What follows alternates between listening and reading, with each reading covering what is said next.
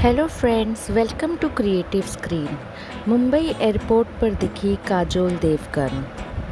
अपनी अगली फ़िल्म के शूट के लिए जा रही थी। बेसिक ब्लू डेनिम और रेड टी शर्ट के साथ काजोल ने किया था सिंपल एयरपोर्ट लुक